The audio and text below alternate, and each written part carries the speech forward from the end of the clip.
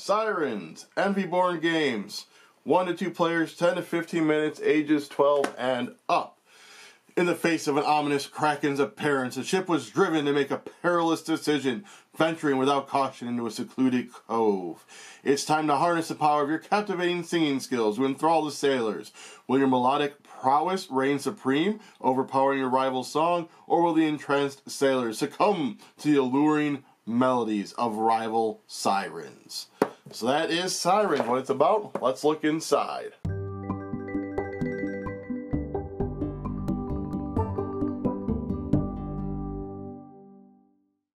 Alright, let's open this up. We have a competitive rule book and the solo rule book. So let's look at the competitive one until the text gets upside down. Then we'll flip it over and look at the other one. I will say we did back all three of the Envy Born games. If you haven't seen yet, we have done the unboxings and what does it all do for all three games this week. So you can look back. I'll make sure to include links down below. I am saying that to let you know we do have a couple of special bits that I will show you. So this is the developer note. Also, these are QR codes. They have an app that once you arrange the cards will play the melody for you. So we are out to the upside down text. So let's flip this bad boy over and look at the solo rules.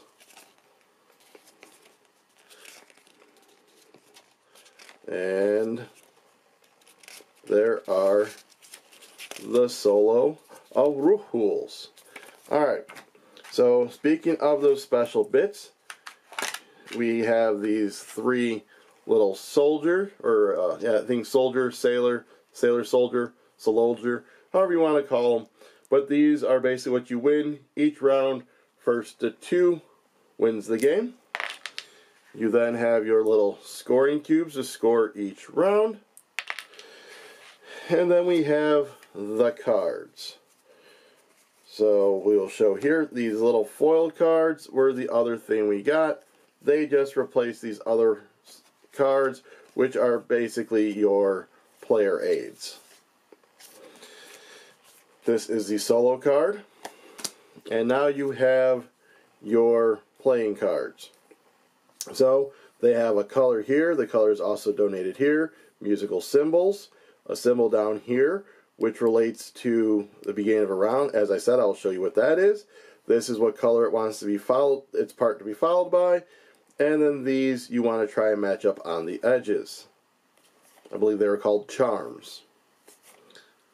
And then you have that one didn't have it. You have hearts. That determines who scores first.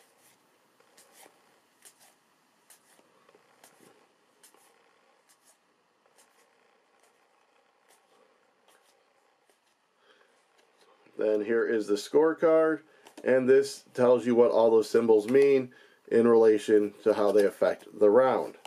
So that is it for the components. Let's get into that how to play. Alright, we are set up for a round of Sirens. This game's going to play over two to three rounds, depending on if when someone gets to winning their second sailor. So you're going to shuffle the deck. You are going to reveal a universal rule, which is you're going to flip over the top card. You're going to look at the yellow symbol below, and then you're going to look up here to see what it dictates. So this one says you're going to leave cards face down when past two. The last keep is blind. Then everyone is going to get four cards. One, two, three, and four.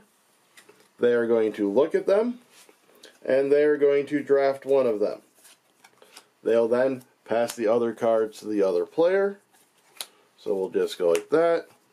And then they'll take that and send us these two back and we'll just take, what do we grab? We grab that one, we'll grab this, pass them those two, and then because of this, we are going to keep this random one, and they're going to keep that one. These get discarded to the top of this deck. We then are going to build our root. So from these three cards that we took, we are going to put them down in front of us in an order however we want. So we will actually go like this. And they'll do the same. I'm just going to randomly lay them out like so. We then give this a quick shuffle, seeing as we know what those top two cards are. And then each person gets four cards again. And we repeat, grabbing a card, passing them over, grabbing a card, passing them over, and we'll just do a blind one because I'm not fully playing the game. Then we are going to look at these three cards and we are going to build our progression. We are going to attach these three cards to our root. The root has to stay here though, but we can put cards at the beginning or at the end, however we like. So in this instance, we're going to go with the red, or one there, that one there, and that one right there. After we do that, we are going to score the song and capture the sailor. So, first thing we are going to do to score is we are going to determine the total number of hearts of each player. So let's just kind of throw theirs face up so we can see their hearts. So they have one, two, three. We have one, two, three, four, five, six. We have more hearts, so that gives us three points because it's the difference in hearts. So we will score our song first. We are then going to score our musical parts. A part is considered groups of the same color. You need at least three to score for the parts. Parts you are going to score determined by its size and it's going to multiply its size by itself.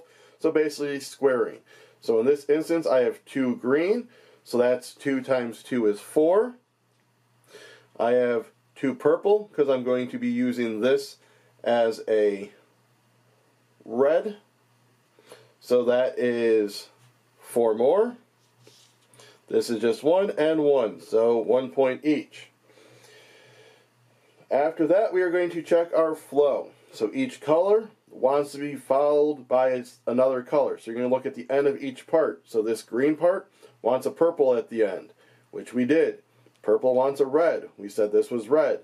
So then once this becomes red, you're going to look at your sheet, and red wants to be followed by yellow. So it's followed by yellow. So if you follow if you follow by one, you get one point. If you follow a second one, that's worth two points, so we're at three. And then a third one is worth three, so that is six more points. If we had a fourth one, then, then four flows would be worth 10 points. After that, we are going to look to see if we accomplished any charms. We did. We have both halves together, and this is worth two points. So we are at 21. Our opponent would then score theirs. If they get more than us, they would get the sailor. If we got more than them, we would get the sailor. In the normal game, what it is is you take this card, the universal rule card, flip it over, you have a sailor which gives you an additional heart in the future rounds. You then collect up all the cards, shuffle them up, and then play another round until someone has won their second sailor. Again, I mentioned the app. What happens with the app is if you have it, you can just line your cards up in a grid, scan it, and then it'll play the song for you. The one thing I did not mention, you did see the one wild card I had with the sun. This one, if you can get the sun and the moon in the same part together, you get an additional three points. So again, a race to two sailors to win the game. Hope you enjoyed. Go ahead and like, subscribe, comment, share, and ring the bell for this channel, this video, because then you can be notified as we do more of these What Does It All Do. You can also look back and see the previous two games in this series on the channel. And I'll see you on the next one.